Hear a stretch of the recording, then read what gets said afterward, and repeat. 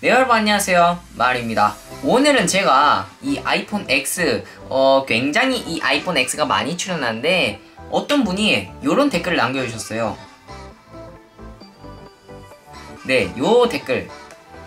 슉, 네.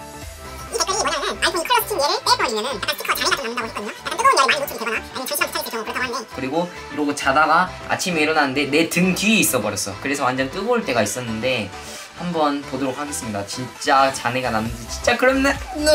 음. 뜯어보도록 하죠. 갑니다. 일단은 이런 식으로 잘 부착이 된 모습이고요. 실버가 그대로 돌아와 줄지.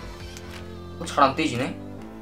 아 이거 비싸요. 이게 두 개에 24,000원 정도 하거든요. 비싸요. 근데 이거 떼었을 때 아무렇지도 않으면 진짜 내 돈이. 한 그래도 여러분들을 위해 떼보도록 하겠습니다.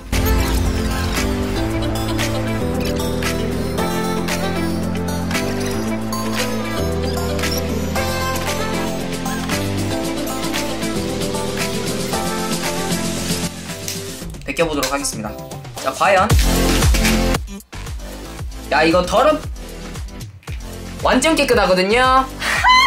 소원해요 와우 굉장히 그냥 이쁘고 반딱반딱한 모습을 볼 수가 있네요. 여러분 제가 이거 광고는 아닌데요. 어 일단은 지금 굉장히 멀쩡하고요. 그리고 애초에 이거 뒷면 자체 보시면은 이게 우리 일반 스티커 그런 끈끈이가 아니라 만져보시면 약간 가죽 같은 느낌이 나요. 오 지금 이렇게 가죽같이 틈이 있잖아요.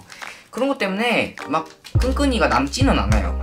장시간을 부착한 게 아니라서 그런지는 잘 모르겠는데 닦고 보잖아요 네, 굉장히 괜찮습니다. 제가 그분께 정말 감사해야 되는 부분이 있습니다. 다시 저희 아이폰 실버 뒷면을 보게 해주셔서 감사합니다.